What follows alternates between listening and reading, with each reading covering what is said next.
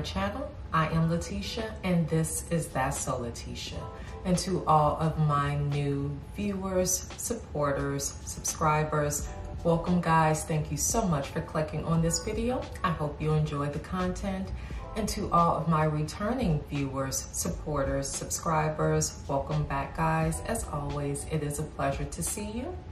Without further ado, let's jump right into this video. As always, first I'm going to prime my face using Fenty Beauty's Pro Filter Mattifying Face Primer. So what I'm going to do for this video is basically um, review a new drugstore blush.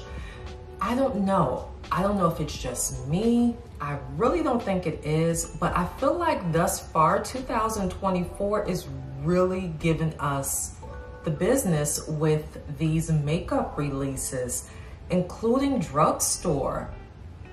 Like the drugstore beauty brands, I'm, I am impressed. And we are literally only in the first month 21st day of 2024. Drugstore brands are really giving so far. I'm just kind of hoping we can keep up, that our pockets can keep up, and that they keep up because I'm liking where 2024 is going so far in terms of makeup. I feel like it's kind of getting back to the root of things, you know, where everything did not have to be super expensive, where it was accessible to everybody because that was the goal back in the day was to enjoy makeup, you know, not feel like am I gonna pay this bill or be able to afford this palette? Or does that come first?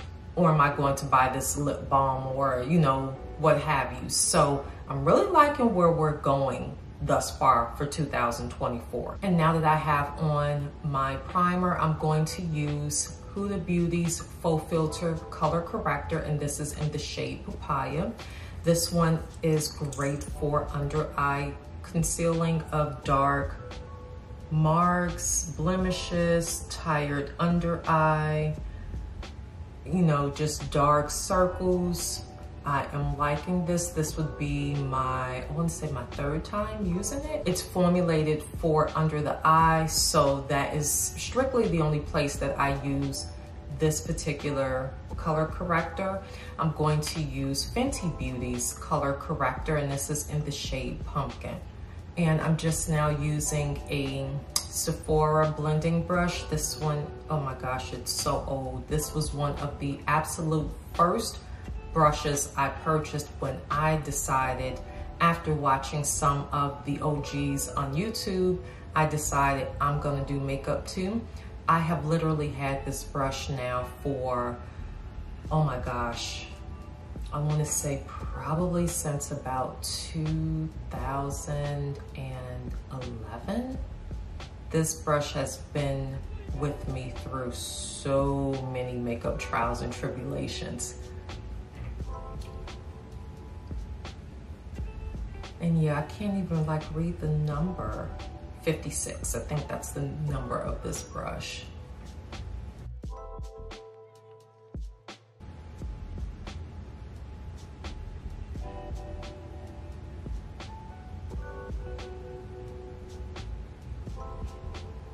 So for foundation, I will be using, this is the newest release uh, foundation by Juvia's Place. This one came out last year, but this is still one of my absolute favorites. This is the I Am Magic Natural Radiant Foundation, and the shade that I wear in this one is Burkina. I mean, honestly, Juvia's Place, they get it right. When it comes to complexion products, they get it right. In terms of coverage, like the full on coverage, it's there. Um, oh my gosh, like you will not so much as see a pore using Juvia's Place foundation and you don't have to use that much. And I'm just applying it using, this is a e.l.f. Ultimate Blending Brush.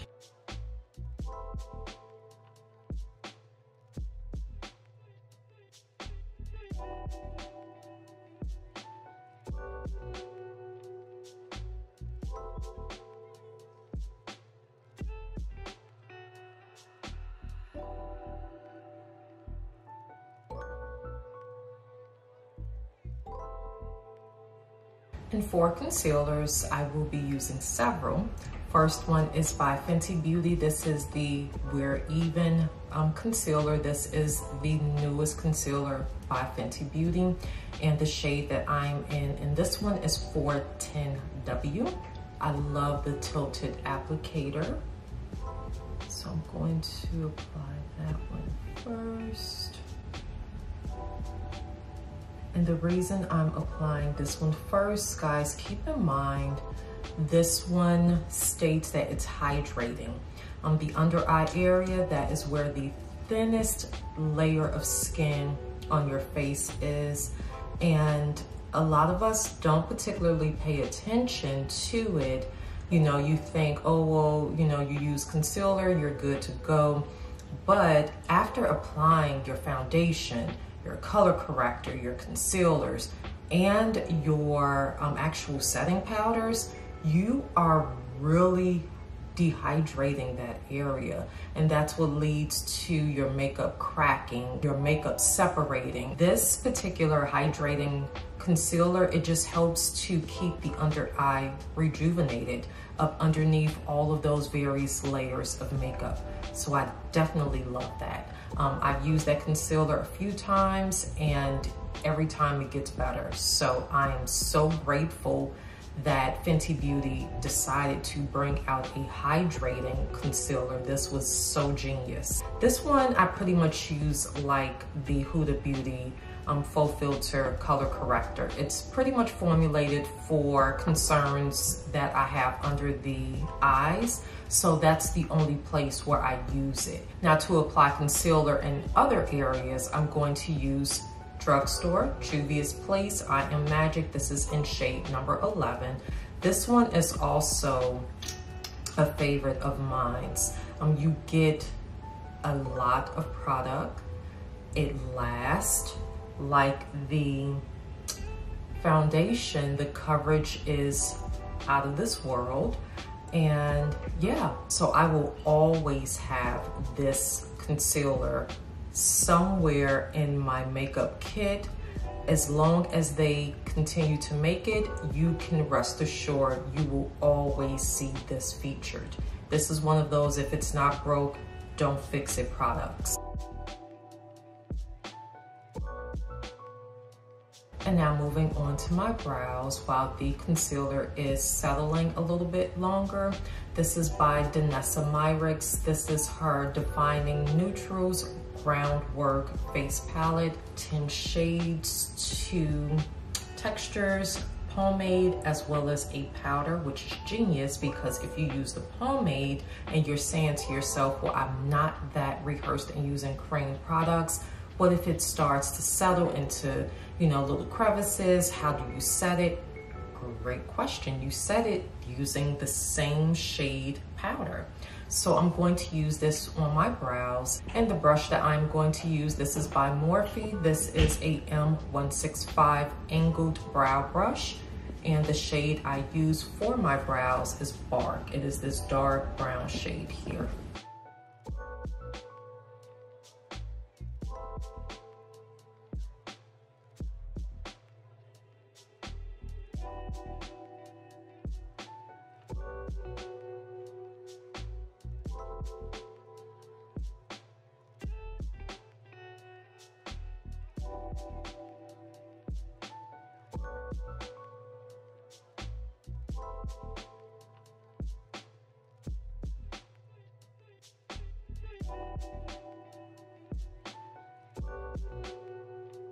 And now I'm just going to begin blending out the concealers using a damp beauty sponge.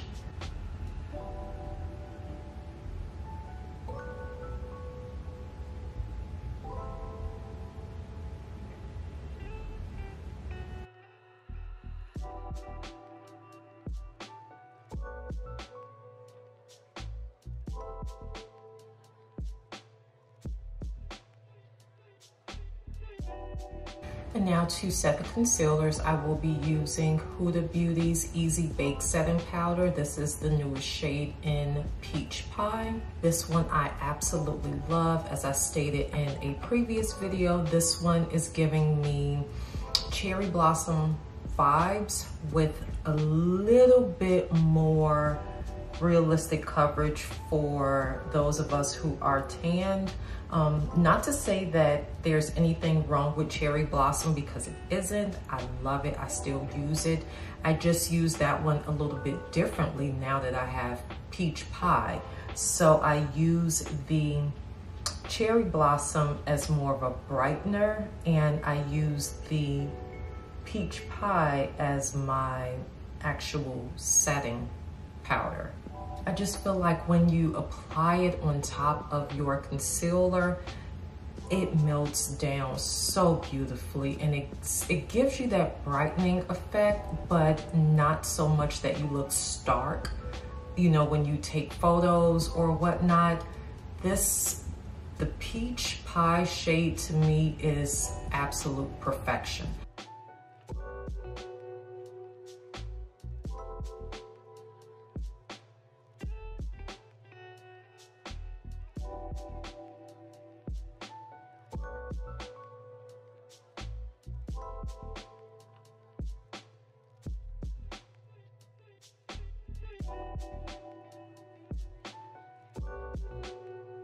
To set my entire face, I'm going to use Too Faced Born This Way Multi-Use Complexion Press Powder, and this is in the shade Chai, which just so happened to be my Too Faced foundation shade, or at least one of them.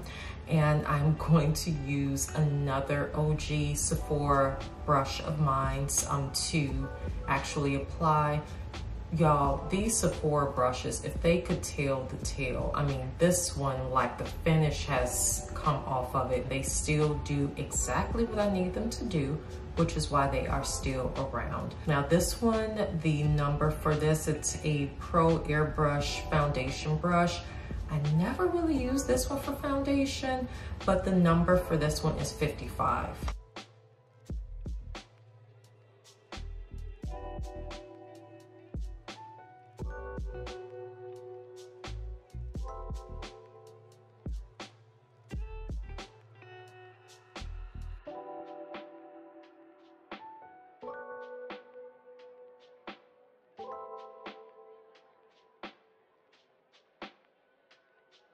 For bronzer, Drugstore, I Heart Revolution. Um, this is their coffee bronzer in mocha.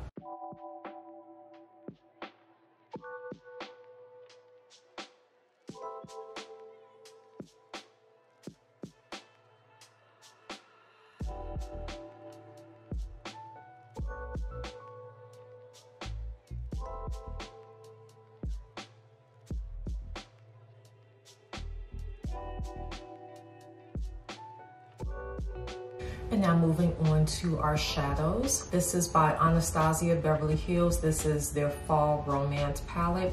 I'm going to, of course, take my Morphe M504 brush and I'm going to apply a bit of leather. This shade here, kind of as a transition shade, but not so much. Um, this palette, it's very specific. It's a good palette, but in terms of like you know, variety of matte shades, not so much. They all have some sort of like texture to them. I feel like that was pretty much on par with the theme of this palette, which was to be very dramatic and bold, but just kind of playful and romantic at the same time. I'm going to use a different brush. This is by the Makeup Shack and this brush is in the number T64. I'm going to go in with Crimson, this shade here. And I'm going to apply it to the outer portion of my eye. And did I mention that these shades are extremely pigmented? But you guys I'm sure you know that already because Anastasia Beverly Hills, their palettes, their pigments, they don't play. They do not skimp on quality, which is the absolute top reason that I love this brand. It's pretty much consistent. There have been a few hit or misses, um, that's to be expected. Nobody is perfect, but for the most part, I absolutely love this brand. and their, their pigments. And I'm not so much blending it in as I am patting the shade in.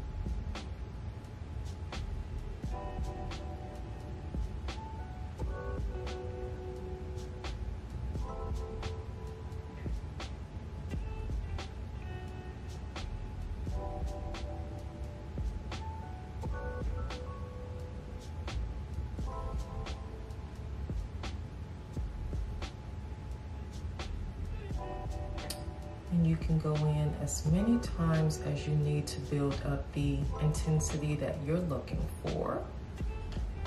Now I'm going to take an even smaller brush. This one is a Morphe M506 going back into crimson and now I'm going to do the inner corners of my eye like close to my tear ducts and I'm just going to concentrate in that area Okay, so now that we have both eyes blended out, I'm going to take my finger and apply Moonlight, which is this kind of lilac shade here. And we're going to apply that to the middle of our eye.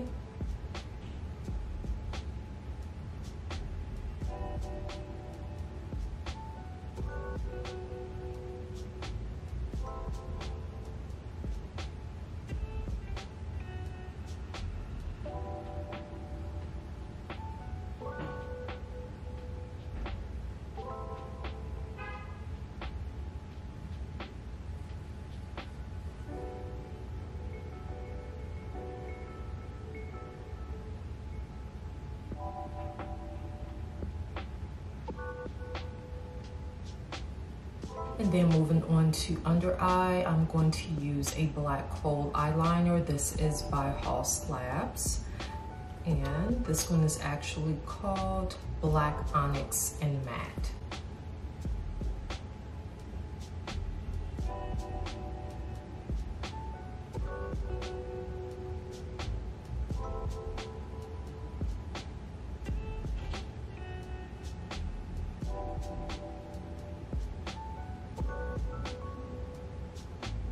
And then on top of the black kohl eyeliner, I'm going to take a little bit of crimson, the shade here, using a smudge brush and just kind of very lightly smoke out the bottom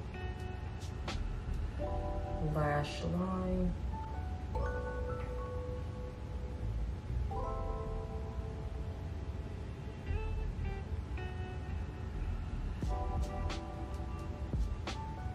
And since this is a dual-sided brush, I'm going to take the opposite end and just kind of diffuse out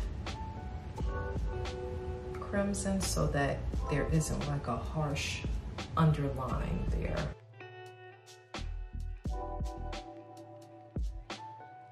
And I'm going to move on to blush. So as I stated, some drugstore products that are new, um, newly released this year really have caught my eye.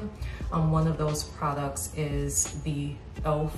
Camo Liquid Blush. I bought two shades. Um, I bought Suave Mauve which is this mauve shade here. It states this is a high pigmented liquid blush. And let me just swatch it so you guys can see what it looks like. This is the container and it has a rather nice size doe's foot. And it's a very pretty shade. I'm finding myself really trying to stock back up on my blushes. Um, I don't know if you guys can see that. Hopefully you can. So that is Suave Mauve. And then I bought the orange shaded blush. Um, this one is Coral Crush. And this is what this one looks like in the container. And that is what the Coral Crush looks like. Okay, so some tidbits about these blushes. They retail for $7, at least at Target, which is where I purchased mine from. There are eight shades with the most vibrant being Berry Well and what appears to be the most, I guess, toned down or neutral shade, Dusty Rose um, or Dusty Rosé.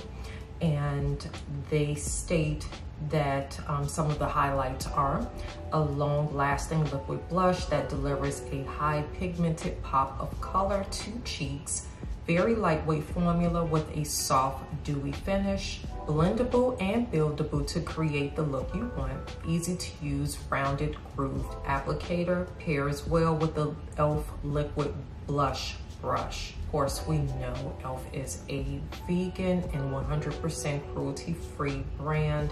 So let's get into it. I am thinking for this look, I'm going to use, which shade is this again? Suave Mauve.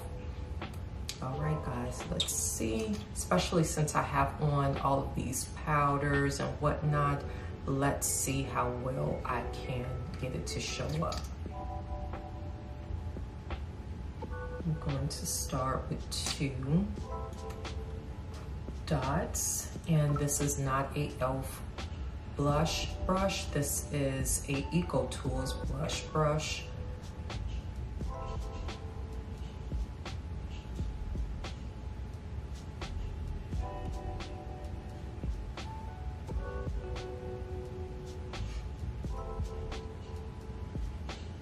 Okay, so since they did say it's blendable and buildable, I'm going to build up. I kind of figured after all of these um, powders that I have on that I would have to go a little bit heavy to get it to show the way I wanted to, but it's very pretty, that I will say.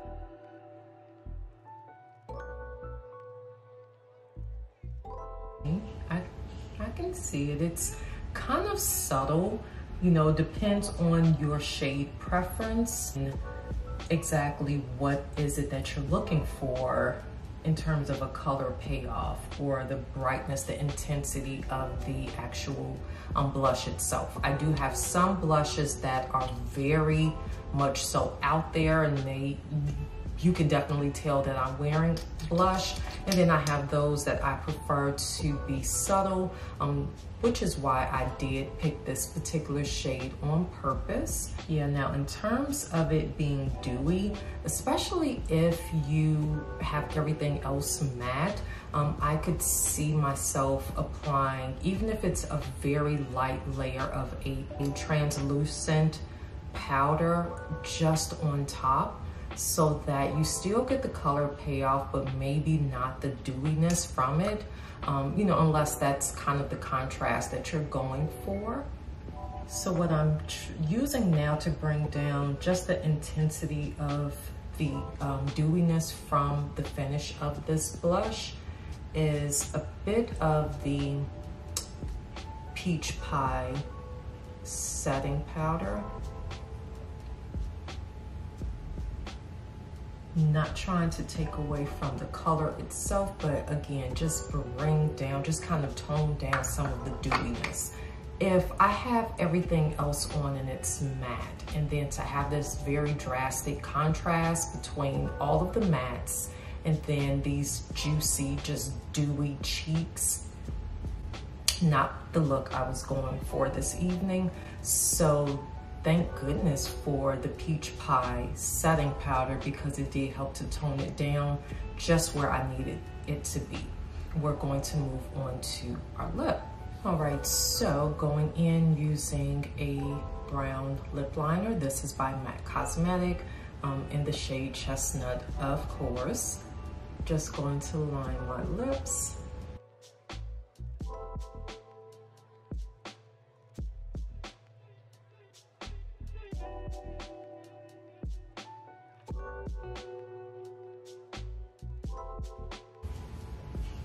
To fill in my lips, I'm going to use by Anastasia Beverly Hills. This is Lip Velvet Liquid Lipstick. and this one is in the shade Pure Hollywood, which is listed as a pale mauve nude. Um, this one retails for $24 even, and it comes in six shades. We have Color Crush, which is a soft beige, Peach Amber, which is a deep warm peach, Parchment, which is a peachy brown, Pure Hollywood, the one that I purchased, which is a pale mauve nude. We have Peachy Nude, which is a light peachy nude. And then lastly, Kiss, which is a rose petal pink. Okay, so this one, it states it's a velvet smooth lip mousse with weightless full pigment, true matte color, cushioned comfortable wear, and a smoothing lip finish. So we're going to apply this on top of our lip liner.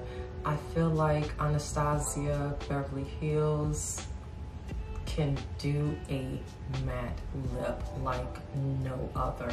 The only other brand that comes close, honestly, um, in my opinion, especially a liquid matte, has been Huda Beauty.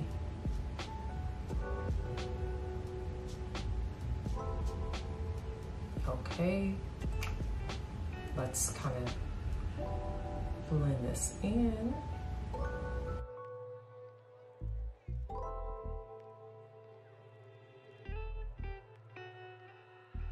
Guys, so this is the final look. Off camera, I applied some Lilly Lashes and where we left off was me applying the Anastasia Beverly Hills Lip Velvet in Pure Hollywood. My battery died. I know. So impressions of this particular lip product. Um, it is very silky, very smooth. It's a very velvety powder. Um, yeah, it kind of reminds me of the texture of the back in the day. If you guys remember, I believe it was by Maybelline. They had brought out like a mousse foundation. That's kind of the vibe that this is giving me upon application. I will say the color like the range of colors in person because I did see them at Sephora. They kind of worried me a little bit just because I didn't feel like there was any particular color that was kind of deep enough that we did not have to um, kind of manipulate it using like a lot of brown liners. Sorry girls, even with the ones that they suggest are like a deep color such as I believe it was like a deep peach or a deep amber shade even for those, yes, the dark brown lip liner is a must. But I do feel like when you apply the lip liner and then you use the lip velvet more or less as like an accent, then you can make some very beautiful lip, you know, shades out of it. Now, on to my opinion about the e.l.f. Um, liquid blushes. I think these are fun. I think when the time is appropriate, when the face that you're doing is appropriate, that these would serve justice for the look. I felt like the peach pie setting powder came in in a clutch to kind of tone down the dewiness and the shine of, you know, the blush.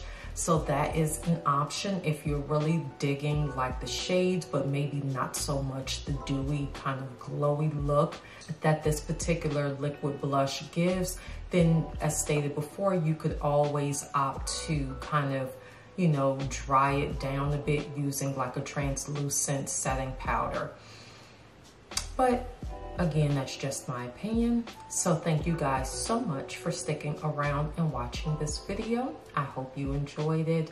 As always, in the description box below, there will be a full list of all products used to achieve this look. Guys, be well, stay safe, exercise self-care. It is not a privilege, but yet a necessity. Check on your strong friends after you check in with yourself. And until next time, guys, we shall chat again soon.